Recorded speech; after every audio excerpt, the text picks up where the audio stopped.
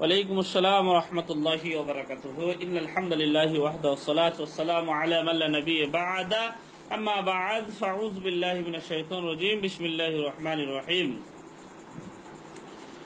আম, আহ, ভাইয়ের প্রশ্ন আসলে আল্লাহর ইচ্ছা কি আল্লাহর ইচ্ছা কি বা কত প্রকার? দেখেন আল্লাহ রবুল্লাহ আলমিনের ইচ্ছা বা ইরাদা আরবি শব্দ আহ, আর তার বাংলা বাংলা মানে হবে ইচ্ছা। অর্থাৎ ইচ্ছা দুই প্রকার।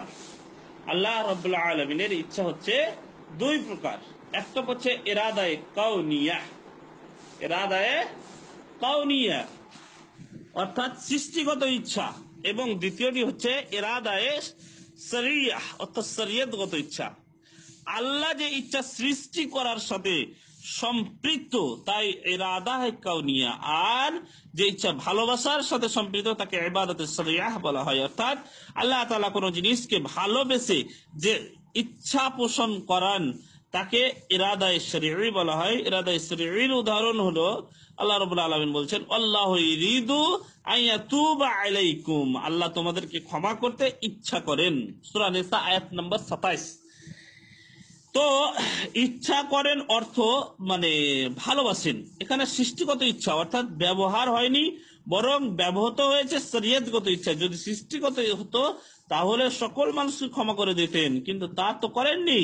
কেননা অধিকাংশ বাণী আদমি কাফির। সুতরাং আল্লাহ তোমাদেরকে ক্ষমা করতে ইচ্ছা করেন। আল্লাহ তোমাদের ক্ষমা করা পছন্দ করেন। আল্লাহ কোন জিনিসকে ভালোবাসেন? ভালোবাসার অর্থ এই নয় যে তা অবশ্যই কার্যকারী হবে। তা কার্যকারী নাও হওয়ার পিছনে নিশ্চয়ই কোনো রহস্য রয়েছে। আর এরাদায় কাউনিয়া তথা সৃষ্টির সাথে সংশ্লিষ্ট একটি ইচ্ছা হচ্ছে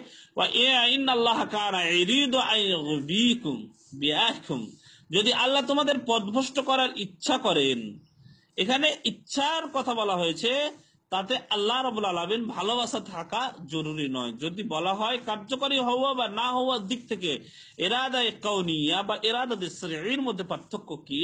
উত্তরে আমরা বলব যে এরাদায় কাউনিয়াতে উদ্দিষ্ট বস্তু অবশ্যই কার্যকরী হবে। আল্লাহ কোন বস্তু সৃষ্টি করতে চাইলে তা অবশ্যই করবেন। আল্লাহ তালা বলছেন ইন্নামা আমরুহু ইজা আরাদা আইয়া কুল আলাহু কুন ফায়াকুন।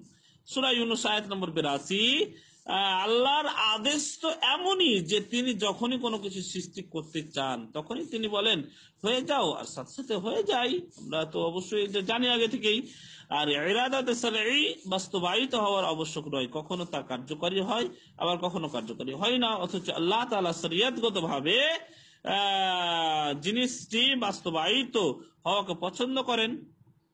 যদি কোনো লজ্জা লোক জিজ্ঞাসা করে, যদি কোনো ব্যক্তি জিজ্ঞাসা করে যে আল্লাহ কি পাপ কাজে ইচ্ছা পোষণ করেন, উত্তর হলো, বা উত্তরে আমি বলব যে সংগঠিত সংগঠিত হওয়ার দিক থেকে পাপ কাজ আল্লাহর ইচ্ছাতেই হয়, কিন্তু আল্লাহ তা পছন্দ করেন না এবং ভালোবাসেন না। তবে আকাশ জমিনে যা কিছু আছে তবে আল্লাহর ইচ্ছাতেই হয়। তো সম্মানিত ভাই, এখান থেকে পরিষ্কার হলো, আল্লাহ মানে ইচ্ছা দুই প্রকার, একটা হচ্ছে কৌনিয়া আর একটা হচ্ছে